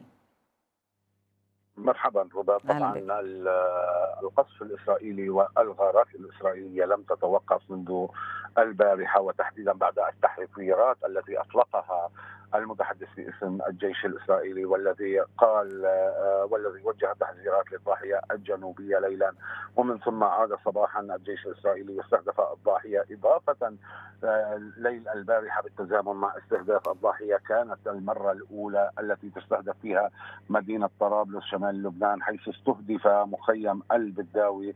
وفي تلك النقطة إضافة إلى أنه كان هناك استهداف آخر في منطقة العمرية في سعد نايل البقاع الأوسط حيث استهدف قيادي الجماعة الإسلامية الذي آه، كنا من منزله آه، في النشرة السابقة إضافة إلى أن أيضا كان هناك استهداف في منطقة الرفيد في البقاع الغربي آه، أيضا لقيادي سابق في الجماعة الإسلامية. طبعا كانت الاستهدافات البارحة عمليتي اغتيال لقياديين في الجماعة الإسلامية في لبنان إضافة إلى عملية اغتيال لقيادي في حماس في مخيم في مخيم البداوي في شمال لبنان إضافة إلى انه القصف المتكرر أدى إلى آه، سقوط ضحية وهي شابة من بلدة الفاكهة البقائيه جراء القصف الإسرائيلي على بلدة العين وهي متطوعة مهندسة متطوعة مع الصليب الأحمر أيضا. طبعا أيضا على الجبهة الجنوبية القصف لا زال مستمرا رغم رفض أهالي بلدة القليعة ورميش مغادرة بلداتهم بعد التحذيرات الكثيفة التي أصدرها الجيش الإسرائيلي لأكثر من 50 بلدة جنوبية هناك. آه، وكان أيضا هناك محاولة تقدم حيث سمعت أصوات رصاص ثقيلة في عمق بلدة العديسي هذا دل إلى شيء آه، ربما يدل إلى آه، عملية اقتحام أو توغل أو مناوشات بين الجيش الإسرائيلي من جهة ومفاضله حزب الله من جهة أخرى. دعيني أعود إلى منزل الذي كنا فيه في النشرة السابقة للأسف حجم الدمار ينافي التصريحات الإسرائيلية التي آه، أو التحذيرات الإسرائيلية التي يصدرها الجانب الإسرائيلي. ان ابتعدوا 1000 متر أو 500 متر عن مكان الاستهداف. للأسف الاستهداف الذي كان لمنزل الحاج محمود يويس القيادي في الجماعة الإسلامية وهو شاب بعمر ال 35 عاما آه، كان آه، قد تضررت المنازل المنازل المحيطة فيه والمحال المحيطة فيه بشكل كبير حيث أن المنزل استهدف استهدف المنزل بثلاثة صواريخ من طائرة مسيرة أدت إلى دمار كبير في المنازل التي حوله وفي المحال التجارية التي حول هذا المنزل. نعم. طبعا الآن هناك اشتباكات طبعا على الحدود اللبنانية الجنوبية لا تكاد تتوقف فأكثر من من أمر هناك عفوا أكثر من محاوله تقدم يحاول فيها الجانب الإسرائيلي إضافة إلى محاولات توغل من قبل حزب الله أيضا كان آه، معبر المصنع البارحة آه، تم تناقل أن هناك غارة أخرى عليه لكن تبين أنها المقصود فيها هي غارة الرفيد في البقاع الغربي. يعني معبر المصنع استهدف مرة واحدة في ثلاث صواريخ كان قد قطع الطريق بحفرة عميقة لم تعد تسمح للسيارات بالعبور من الجانب السوري إلى الجانب اللبناني والاستهداف كان أقرب إلى الجانب اللبناني ما يقارب ألف, ألف متر. طبعا هذا آه، أدى إلى أن العديد من النازحين اللبنانيين المغادرين إلى سوريا آه، حملوا أمتعتهم وأطفالهم و الكبار بالسن معهم وعبروا يعني بعد هذه الضربة على المعبر لم تخف حركة النزوح ربما تعثرت لكنها استمرت ورغم صعوبتها. تعثرت لكن تابعت هذه الحركة تابعت هذه الحركة مشيا على الأقدام. ربما نعم. معاناة جديدة للمغادرين يعني نعم كنت رصدت لنا يوم أمس لقطات من من بعض نعم. عوائل ربا بعض العوائل التي شاهدناها كانت قد عبرت بسياراتها. وتحمل أمتعتها بسياراتها افترشت الطريق على جانبي الطريق تنتظر آه، محاولة إصلاح هذا الطريق إن سمح إصلاحه لكن ما شاهدناه ينفي الادعاءات هل هناك أي بوادر للإصلاح؟ هل تحدثت الحكومة اللبنانية أنها ربما تصلح هذا المعبر باعتبار أن القصف كان من جهتها؟ طبعا هناك مناقشات يجب أن تكون بين الجانب اللبناني والجانب. السوري لإصلاح جانب النظام نعم لأن المنطقة لأن المنطقة المستهدفة هي في منتصف الطريق بين الجانبين. لكن دعيني أؤكد أن ما شاهدناه لا يوجد أي نفق كما تحدث الجيش الإسرائيلي أن هناك نفق لنقل الأسلحة في هذا المعبر.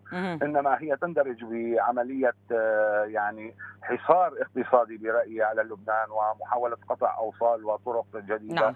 إضافة إلى أن اليوم الحرب اليوم ربا في لبنان تحمل أعباء كبيرة وتحديدا الأعباء الاقتصادية لأن لبنان منهك اقتصاديا منذ عام 2019 وليست مثل الحرب 2006 عندما كان لبنان معافى اقتصاديا. نعم.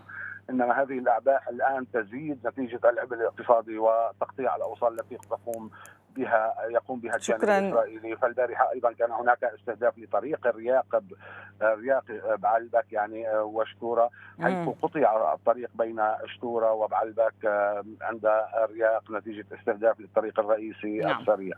شكرا جزيلا لك أحمد القصير مراسلنا من البقاع على هذه الإيضاحات والمعلومات. ونذهب الآن إلى مراسلتنا في الجولان السوري المحتل ليلى قيش. مرحبا بك ليلى. أيضا آه، ماذا عن صباح هذا اليوم؟ آه، ما هي مشاهداتك وماذا عن الأوضاع الميدانية؟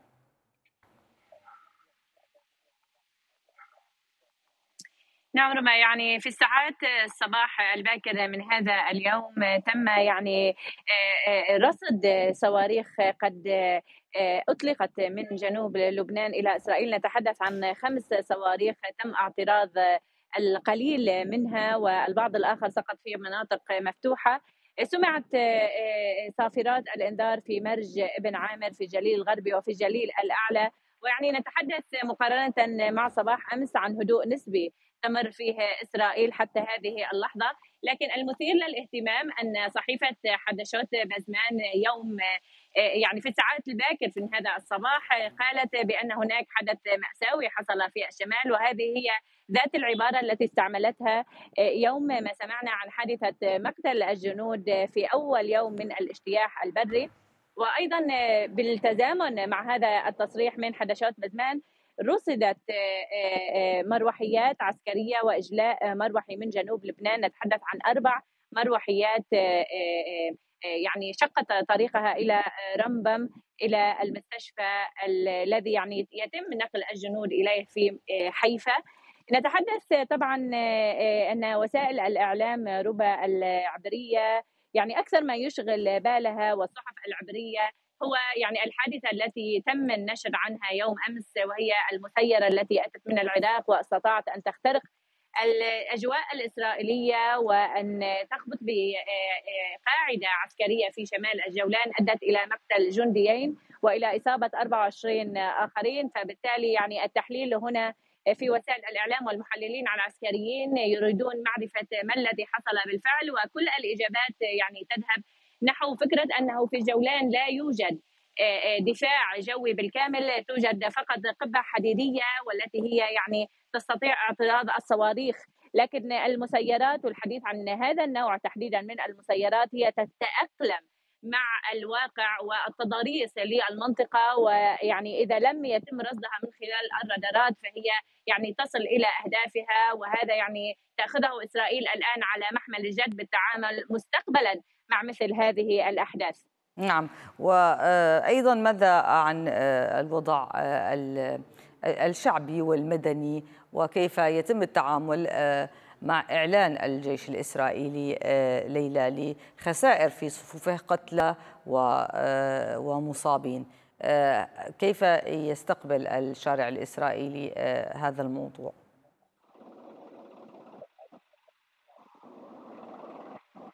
بعد الإعلان عن مثل هذه العمليات عن وقوع قتلى في صفوف الجيش الإسرائيلي نرى يعني المشهد العام ينقسم إلى قسمين المواطنين الإسرائيليين بالفعل يعني يأخذون هذا الشيء على بشكل جدا صعب لكن في المقابل هم شعب دائما يطالبون بأن يكون لكل فعل رد فعل متناسين بأنهم هم من بدأ بالفعل الأساسي هذا هو الشارع الإسرائيلي. هكذا دائما ينظر إلى الأمور. فنحن يعني إذا آه، أردنا رصد ردود الأفعال نراها دائما تتجه نحو يعني على مواقع التواصل الاجتماعي يعني مثلا ليلى. فعل عن مثل هذه.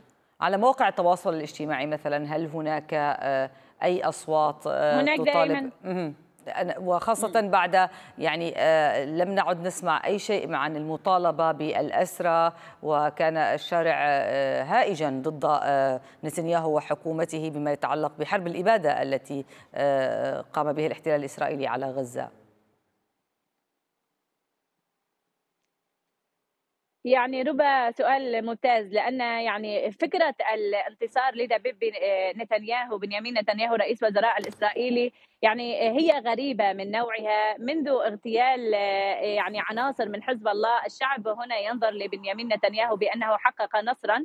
متناسين الفشل الذريع الذي حصل تقريبا قبل سنة من الآن. المطالبة بالمختطفين ما زال مستمر. حراك الأهل الذين يطالبون بعودة أبنائهم الأسرى من قطاع غزة ما زال مستمر لكن لا نرى الآن مظاهرات منذ الاجتياح البري في لبنان لكن مواصل التو...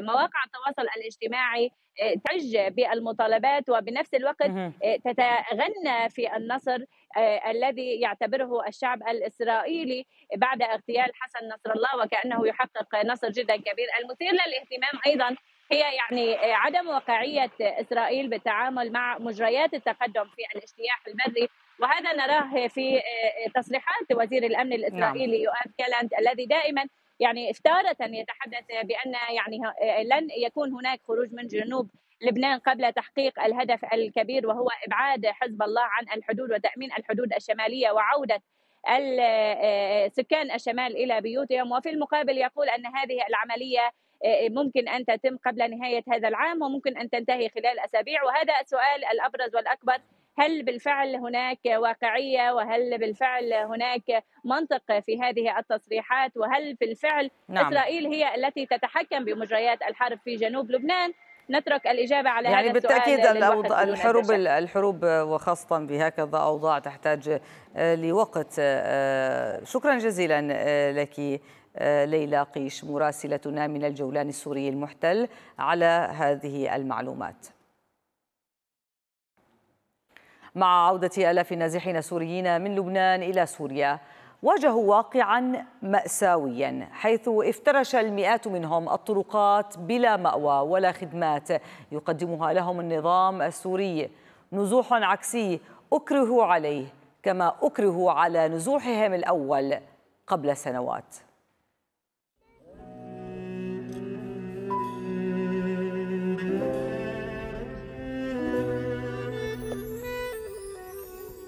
حامل عظهرك وطن ومش قادر النسيان. بإيدك مفاتيح الحلم وقلبك مثل ما كان تارك حدودك للمدى يا وحدك وما في حدا. يا ظل محني وما إله صورة عالحيطان كانت عيناه حتى من خلال قطعة النقود تلاحقانك. على العملة على الطوابع على أغلفة الكتب على الأعلام على ألواح الإعلانات في كل مكان ودائما. عيناه تراقبانك وصوته يحيط بك. وسواء كنت مستيقظا أو نائما تعمل أو تأكل. داخل منزلك أو خارجه. في الحمام أو في الفراش. لا فرق. لا مهرب لك. أنت لا تملك سوى تلك السنتيمترات المكعبة. داخل جمجمتك. لو فقت قبل الصبح والضو شي أوله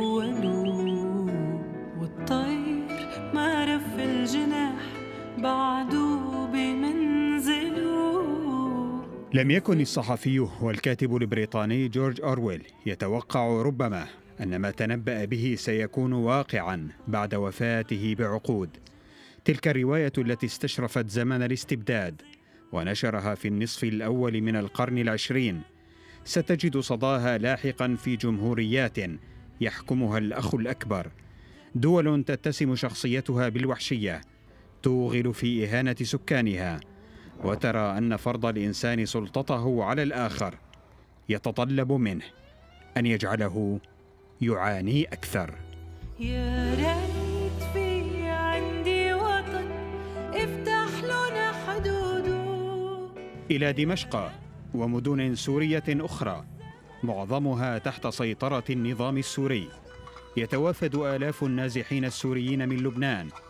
ولعل من المفارقات أن يوصف إنسان يدخل بلاده بكلمة نازح وهي التي فر منها قبل سنوات نازحا مكرها كذلك بعد أن هجرهم النظام وحلفاؤه إبان تدخلهم العسكري في سوريا واليوم يلقون مصيرا مماثلا بفعل النيران الإسرائيلية التي قذفتهم كأمواج البحر إلى سوريا مجددا أو ما تبقى منها.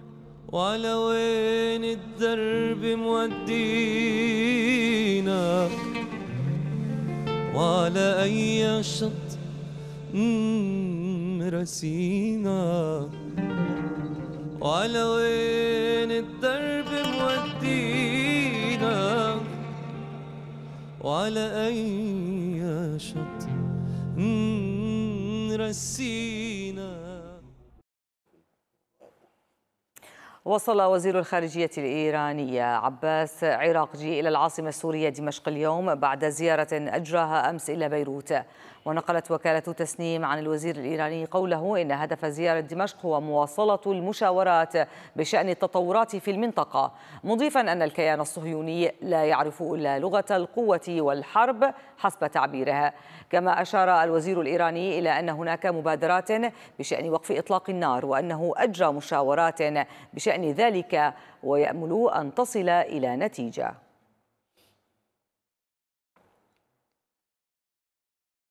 قالت صحيفة يدعوت أحرنوت الإسرائيلية نقلا عن مصادر أمريكية مطلعة إن إسرائيل تخطط لرد قوي على إيران قريبا.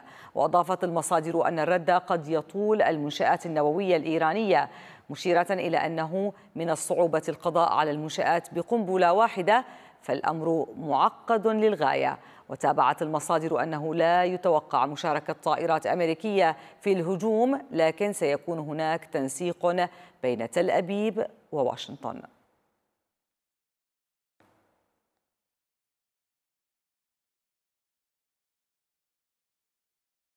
ولنناقش هذه التطورات أيضا ينضم إلينا في الاستوديو الكاتب والمحلل السياسي عمر كوش. أسعد الله صباحك سيد عمر واهلا بك. أه سأبدأ من التصريحات الأمريكية وحتى أنه لو كان يندرج ضمن أه الحملة الانتخابية ترامب وما تحدث به عن ضرب المنشآت الإيرانية النووية. هذه الحرب نحن نعلم عادة الحروب نعلم أين أين أين تبدأ أو متى تبدأ لكن متى تنتهي وكيف تنتهي؟ هذه هي المشكلة. ومع هذه التصريحات إلى أين الأمور؟ يعني ترامب طبعا تصريحه انتخابي. نعم. بالتأكيد يريد أن يحرج الديمقراطيين وأنه لو كان موجودا بالسلطة لما تجرأت إيران على قصف إسرائيل وأنه يجب قصف المنشآت النووية والنفطية طبعا كل هذا لكن مع ترامب قدم للاحتلال الإسرائيلي خدمة كبيرة بنقل العاصمة أو بنقل يعني صحيح هو نعم. طبعا بالتأكيد يعني هو أكثر يمينية وبالتالي أكثر طبعا نعم. تلاقيا مع حكومة التطرف اليمينية م. وخاصة بزعامة نتنياهو في إسرائيل. لكن أيضا إذا أخذنا مثلا مرحلة رئاسة ترامب إيران أسقطت طائرة مسيرة متطورة للولايات المتحدة الأمريكية ولم يرد ترامب وبالتالي نعم. يعني حسابات لكنه قتل سليماني صحيح نعم أيضا يعني هذه الألاعيب السياسية يعني بالتأكيد هناك يعني يعني الإدارة الديمقراطية أو الإدارة الأمريكية أولا مصلحة إسرائيل وأمن إسرائيل فوق كل نعم. شيء بالنسبة للاثنين لكن الكلام لا يؤخذ دائما بالحملات الانتخابية لأنه عندما يصل الرئيس إلى الكرسي البيت الأبيض طبعا ستكون هناك حسابات المؤسسه أيضا يجب أن يأخذها بعين الاعتبار والأمثلة طبعا كثيرة. لكن في مطلق الأحوال حكومة اليمين المتطرف في إسرائيل الحقيقة قد لا توافق دائما ما تقوله الإدارة الأمريكية. لاحظنا هذا نعم. في أكثر, أكثر من, من مكان من اختلفوا. مكان وأكثر من مناسبة. وبالتالي نتنياهو طبعا بالنسبة إليه هناك فرصة سانحة لكي يقصف المنشآت النفطية والمنشآت ويمرر النووية ما يريد في هذه الفترة الانتقالية. ويريد أن يمرر وأن يثبت أنه هو من قام بقصف إيران والقضاء بين قوسين على منشآته النووية رغم أن هذا طبعا صعب جدا لا يمكن القضاء عليه يعني هو نصر سياسي بالنسبة له أيضا نتنياهو أيضاً. حاول أن يحققه بعد يعني كل هذه الجرائم التي ارتكبها وبعد موضوع الأسرى الذي طوي تقريبا. الحقيقة بالنسبة للنصر السياسي يعني حققه بالفعل. يعني الآن آخر استطلاعات الرأي في داخل إسرائيل تقول أن هناك 90% يؤيدون طبعا نتنياهو وهذا يعني لم يسبق إليه رئيس حكومة احتلال أن لهذا التأييد الشعبي الكبير. يعني قبل حرب تم حرب أكتوبر بعد التي بدأت الثامن من أكتوبر يعني كانت طبعا كانت استطلاعات الرأي لا تعطي نتنياهو حتى ال 40% وكانت نعم. هناك طبعا محاولات لعزله والى بينما الآن ارتفعت أما اليوم يعني إلى 90% نعم. وهذا طبعا بالنسبة للشارع العام الإسرائيلي مؤيد لما يقوم به للحرب في غزة وأيضا طبعا مؤيد للحرب في لبنان وبالتالي توجيه اي ضربه عسكرية مؤلمة للنظام الإيراني هذا سيلاقي أيضا ترحيبا في الشارع الإسرائيلي. لكن الموضوع لم يعد فقط حزب الله وأذرع إيران في لبنان، يوم أمس الولايات المتحدة ضربت الحوثيين في اليمن وبتدخل مباشر. طبعا هذا الموضوع الذي هناك خطوط حمراء في العالم منها النفط والمصادر الطاقة ومنها المعابر المائية. ضربة يوم أمس كيف ستساهم أيضا بتأجيج الحرب؟ الحقيقة كانت يعني أقوى ربما ضربة أمريكية توجه إلى الحوثيين نعم هي ليست لأنها مش يعني شملت مواقع عديدة, عديدة. جدا 15 موقعا عسكريا واقتصاديا وبالتالي هذا طبعا يعني سابقة بالنسبة للولايات المتحدة الأمريكية نعم. تريد أيضا الولايات المتحدة الأمريكية أن تأخذ كتفا عن إسرائيل بمعنى مم. إسرائيل يعني قد حتى عندما ضربت الحديدة فضربت مكان واحد وفقط مصفاة نفط وإلى آخره نعم. أو مجمع نفطي لكن الولايات المتحدة الأمريكية أيضا تريد أن تقول أنني أيضا موجودة في هذه المياه ولي الدور وأنا صاحبة اليد الطولى لذلك يعني هذه رسالة قوية لإيران وعن طريق الحوثيين وأيضا رسالة للحوثيين الذين طبعا يعني قاموا بإرسال سواء صواريخ أو بطائرات مسيرة وبعضها سقطت على مواقع إسرائيلية. الوضع الإقليمي الحقيقة يعني يؤكد تماما أن التنسيق الأمريكي الإسرائيلي على أعلى المستويات سواء على المستوى السياسي أو على المستوى طبعا العسكري على المستوى السياسي مثلا اليوم المبعوث الأمريكي الخاص إلى لبنان يقول أن ما طرحناه سابقا من حل دبلوماسي لم يعد موجودا بمعنى على إسرائيل أن تكمل حربها ضد حزب الله وبالتالي ما يتبع هذه الحرب أيضا ضرب أذرع إيران وضرب نعم. إيران أيضا بنفس الوقت لكن دوما الولايات المتحدة الأمريكية تحبذ أن تكون الضربة مدروسة وأن لا تستجر حربا شاملة في المنطقة. يعني أيضا ليس بعيدا عن ما يحدث. بالعكس بالعكس هو في قلب ما يحدث. التصريحات من ما يسمى المقاومة الإسلامية أو أحد أذرعها في أو حزب الله العراقي في في العراق. نعم. يتحدث أيضا ويهدد بموضوع النفط وهنا أيضا يقترب من خط أحمر, أحمر. آخر بالنسبة للعالم. مصادر الطاقة هي مشكلة لا يمكن. نحن نعلم عندما يتم المساس بمصادر الطاقة أو التهديد بها كيف تكون النتائج. وهناك تجارب تاريخيا بهذا الموضوع. برأيك هذه التصريحات. أين الحكومة العراقية التي نعلم كيف تتشكل أيضا وكيف تدار من من يعني بشكل كبير التدخل الإيراني بها؟ أين هي من من هذه التصريحات؟ ومن هذه الميليشيات التي تقول أنه لا يحق لهم في الدستور العراقي أن يمنعوهم من مجابهة الاحتلال الإسرائيلي يعني الميليشيات طبعا الطائفية العراقية لا تتبع الحكومة الحقيقة ولا تسمع بأي ما تقوم يعني بأي خط سياسي أو أي تصريح سياسي من طرف سواء رئيس الحكومة السيد السوداني أو غيره نعم. لها طبعا مرجعية في القرار وفي التصرفات هي إيران هذا نعم. طبعا معروف واضحا. للجميع نعم. وبالفعل يعني البارحة مثلا وجهت ميليشيا النجباء وميليشيا حزب الله العراقي حتى طائره مسيرة إلى بيروت إلى الجولان وقتلت نعم. يعني عنصرين من من الجنود الإسرائيليين نعم. من فرقه جولاني المعروفة طبعا بتدريبها العالي وكذا يعني هذا لم تقم به أي ميليشيا أخرى في العراق ولا في سوريا يعني يعني الحقيقة نعم, نعم. سنأتي على سوريا أيضا نعم. تفضل فبالتالي هذه الميليشيات يعني بالتأكيد لها دور وهذا الدور أيضا يعني بمعنى أن إيران تقول أن أنكم إذا ضربتم منشآتنا أو ضربتونا بضربة قاسية لدينا أذرعنا وهذا مثال هو طبعا حزب الله وحركة النجباء الميليشيات العراقية التي تستطيع أيضا أن تضرب إسرائيل عن طريق سواء الصواريخ أو عن طريق طبعا الطائرات المسيرة. الوضع في الإقليم الحقيقة يعني ينذر بالفعل انه أي خطأ أو أي ضربة غير محسوبة فعلا ستشعل المنطقة حربا لا يعرف أحد إلى أين تمتد. لكن بنفس الوقت هناك إصرار غربي أمريكي إسرائيلي على تقليم أظافر إيران في المنطقة. وبالتالي على إيران أن تفهم الدرس لكن باعتقادي أن إيران أيضا ألا تعتقد أن إيران فهمت الدرس جيدا؟ وهي تقريبا تخلت عن أذرعها وحتى ردود أفعالها لإيران. ليست هذه الردود التي كانت متوقعة أو ربما مناصري هذا المحور والمناصرين لإيران كانوا يتوقعون أكثر من ذلك. يعني الحقيقة إيران لم يقدم لها الغرب شيئا. يعني م. حاولت أن تتريث في الرد على مقتل أو اغتيال إسماعيل هنية وأيضا في اغتيال نصر الله وأيضا في توجيه ضربات لها هنا وهناك. لا مقابل أن يقدم الغرب شيئا ما بالنسبة سواء لبرنامجها النووي أو لدورها في منطقة الشرق الأوسط ونفوذها لكن الغرب لم يقايض الحقيقة لم يقدم الكثير للولايات لإيران فبالتالي النظام الإيراني الآن وجد نفسه أنه يجب أن يحصل شيئا في في هذه المعمعة أو في هذه الظروف الساخنة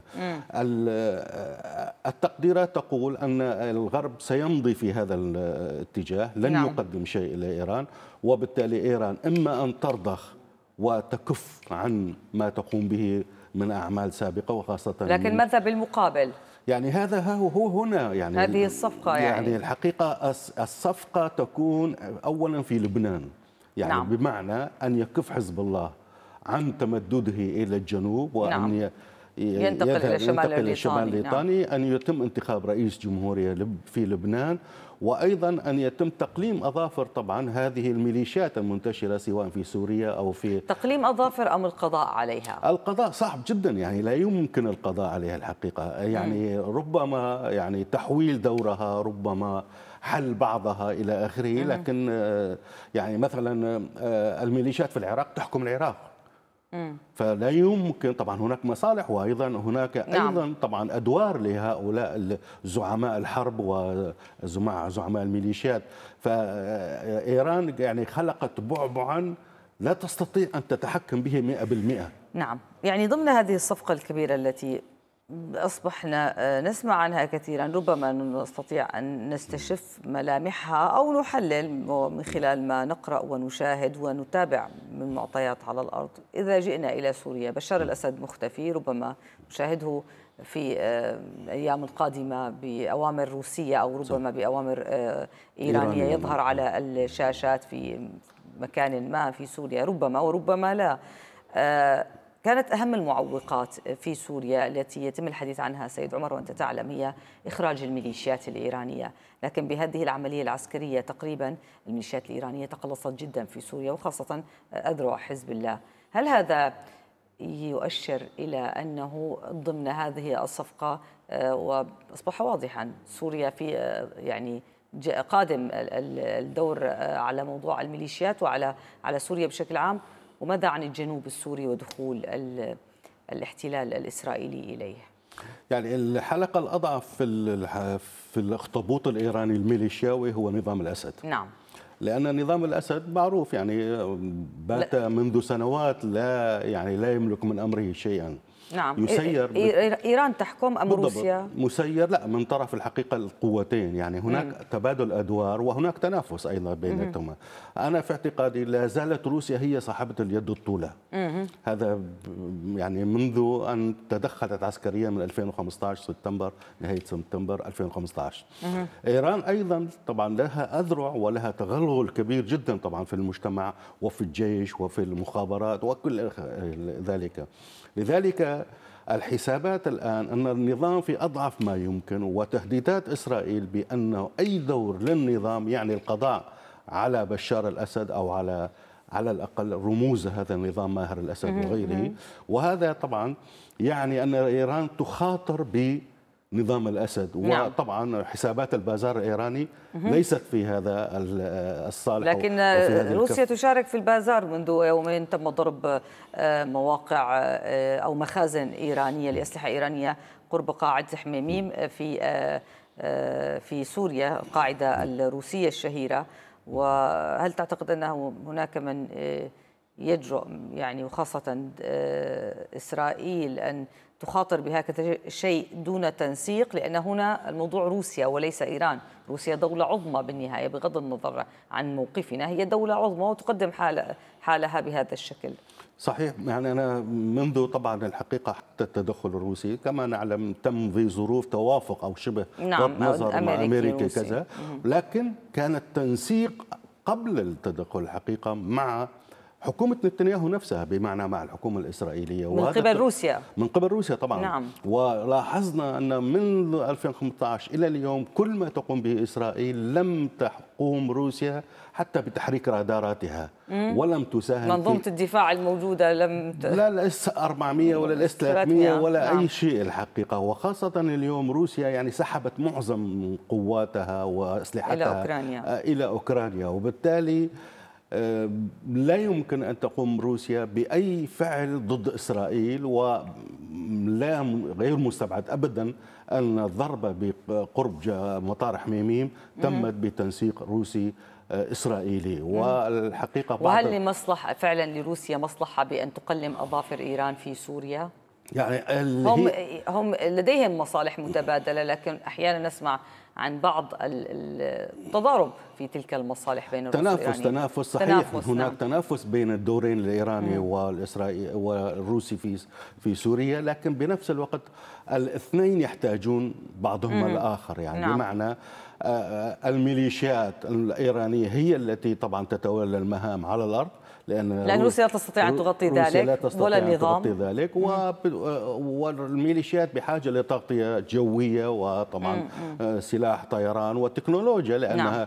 إيران لا تملك لا هذه التكنولوجيا ولا تملك طبعا سلاح طيران نعم. وبالتالي الأدوار يعني هناك تبادل وتكامل ولكن قوتي الاحتلال الرأس الأقوى هو طبعا روسيا نعم طيب أيضا الآن وعندما نتحدث عن هذه المعارك وهذه التطورات الميدانية والعسكرية. البعض يقول هذه التحليلات السياسية التي نذهب إليها بعيدا هي ضرب من الخيال والبعض الآخر يقول أنه إذا أردنا أن نقرأ الصورة الصحيحة يجب أن ننظر إلى المنطقة بشكل عام وأن نوسع على عدستنا بشكل كبير كي نرى التفاصيل لنفهم ماذا يحدث.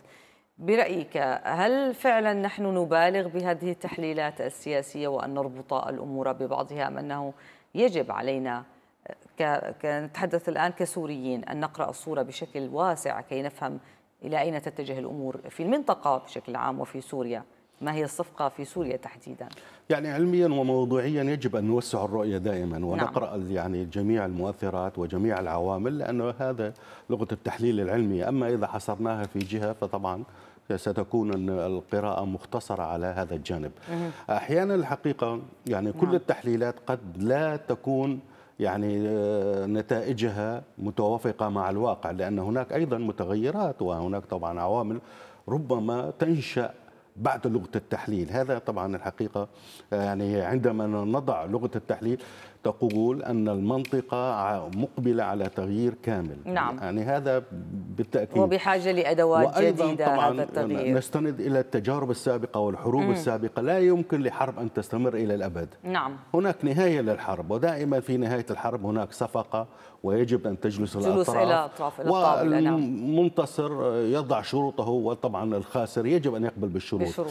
الرؤية تقول الرؤية الكاملة تقول أن إيران هي التي ستخسر ومحورها محور المقاومة الذي نعم. هو محور الشر بالنسبة للسوريين و... لكن لكن المنتصر عدو كبير بالنسبة للسوريين وبالنسبة للمنطقة. إذا افترضنا هذا ما يعني هنا يعني الاحتلال الإسرائيلي. صحيح يعني مع الأسف يعني بين نارين. نحن بين نارين ودائما أنا يعني كل الحقيقة الأحداث منذ 2011 إلى اليوم يعني كل الأحداث ليست في صالح الشعب السوري ولاحظنا الملف السوري والثورة السورية التي كانت في 2011 و12 تهتم يعني تلاقي اهتمام واسع من قبل يعني قوى وصلت إلى أكثر من 100 دولة في العالم اليوم نعم. طبعا لا أحد يهتم فيها وتحولت إلى يعني و... ملف مهمل نعم. وبالتالي في ضمن هذه الحرب قد يعني الحقيقة هنا تأتي مسؤولية السوريين وقواهم السياسية مه. إن بقيت مسؤولية سياسية نعم. أن يقوموا بمبادرة ما وأهم نقطة هي إخراج الميليشيات الطائفية الإيرانية المتعددة الجنسيات من سوريا لكن برأيك ضمن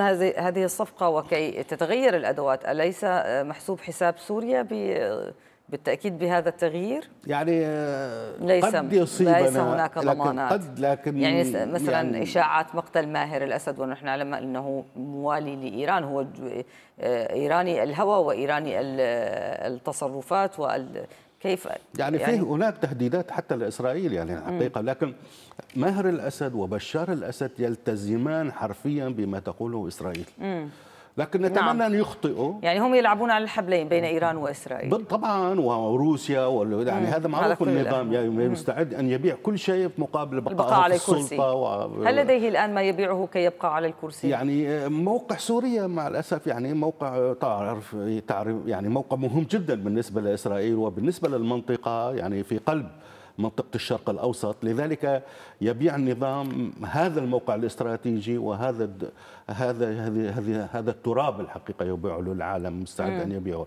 لذلك الآن يعني حسابات الآن نعم. نعم الحسابات يجب أن تكون دقيقة بالنسبة للمعارضة السورية وطبعا للقوى الحية السورية. أن تقوم بمبادرة ما أن تتوجه للأمم المتحدة أن تتوجه للولايات المتحدة الأمريكية إلى الاتحاد الأوروبي بالمطالبة على الأقل بسحب وإخراج الميليشيات الإيرانية. على كل حال الآن الدول المحيطة بإسرائيل يعني دول ضعيفة وهشة وتحتاج إذا كانت تريد أن يعني تصلح من حتى لو أصبحت يعني تغيرت الأنظمة وما إلى ذلك تحتاج إلى ربما سنوات, سنوات طويلة عشرات السنوات صحيح. كي تكون دول بالحد المعقول يعني قابلة للحياة وأن يكون هناك فيها تنمية مستدامة اقتصادية. أما الموضوع العسكري ف ويعني هذا هنا نقول أنه المستفيد الصحيح من هذا المحور الإيراني وتحديدا إيران كان هو الاحتلال الإسرائيلي. شكرا جزيلا لك السيد عمر كوش على هذه التحليلات وعلى هذا ربما القراءة لما يحدث في يعني ليس فقط الحرب اللبنانية لكن في المنطقة بشكل عام. إذا المشاهدين رصدت كاميرات تلفزيون سوريا أوضاع النازحين القادمين من لبنان حيث يواجهون واقعا صعبا في دمشق أكثرهم يفترش الشوارع ويسكن في الحدائق العامة بينما لا يتم توزيع المساعدات الإنسانية على العائدين من لبنان وحسب منظمات إنسانية تعتبر فئة الأطفال الأكثر تضررا بسبب نقص الحليب والغذاء.